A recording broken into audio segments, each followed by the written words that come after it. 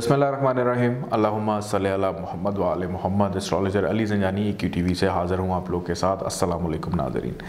ناظرین صنعت پیداوار، ترقی، کامیابی، پیسہ، یہ تمام وہ چیزیں ہیں جس کا ہر انسان متلاشی ہے۔ اور جب بھی کوئی کام کیا جاتا ہے، اس میں ہمیشہ منافع کو سامنے رکھا جاتا ہے۔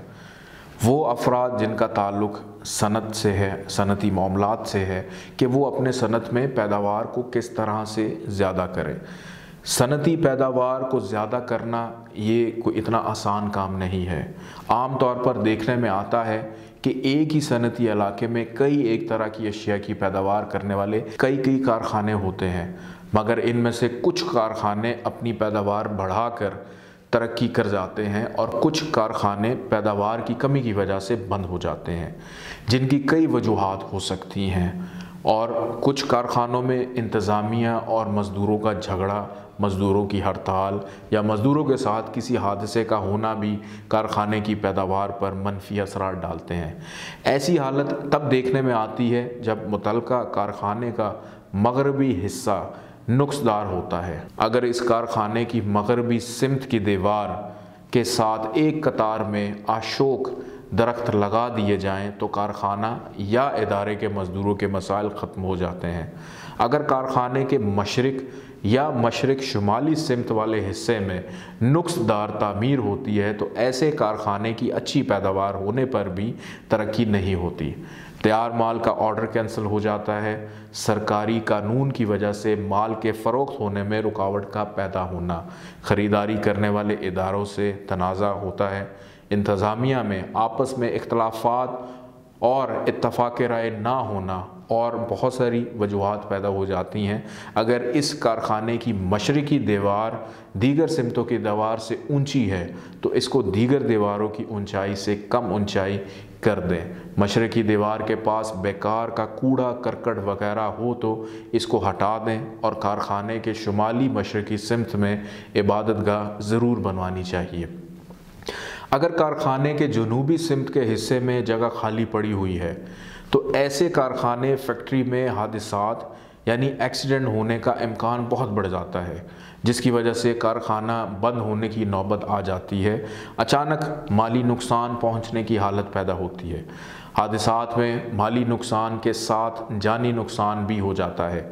اس کا تدارک یہ ہے کہ کارخانے کے جنوبی حصے میں بھاری تعمیر کر کے وہاں پر بھاری مشینری قائم کریں، وہاں جگہ خالی نہ چھوڑیں۔ اگر کارخانے کے شمال مشرقی سمت میں گندگی اور کوڑا کرکٹ پڑا ہوا ہے، تو کارخانے کی ترقی میں رکاوٹیں آتی ہیں۔ سرکاری قانون کی وجہ سے کاروبار میں مندی آتی ہے۔ انتظامیہ میں گڑبڑ ہو جاتی ہے، جس کی وجہ سے کارخانہ بند ہو کر فروخت ہو جاتا ہے۔ اس کا آسان علاج یہ ہے کہ کارخانے کے شمالی مشرقی سمت کے حصے اور درمیانی حصے سے فضول بیکار سامان، کوڑا کرکٹ ہٹا کر وہاں خوبصورت گھاس، پودے وغیرہ لگائیں۔ اور اس مقام کو صاف ستھرا رکھیں۔ اس طرف باتھ روم بھی نہ بنائیں، بلکہ وہاں پر پانی کی ٹینکی وغیرہ شمالی مشرقی کونے کی سمت میں بنائیں۔ اگر ایسا کرنے سے کاروبار کی مندی ختم ہو کر نئے آرڈر ملنے شروع ہو جاتے ہیں اور انتظامیہ بھی چاکو چوبند ہو کر اچھا کام کرنے لگتی ہے، اگر کسی کارخانے کا صدر دروازہ شمال یا مشرق کی طرف نہیں ہے، کسی دیگر سمت میں ہے۔ تو دروازے سے کارخانے میں تعمیری نقص پیدا ہو جاتا ہے۔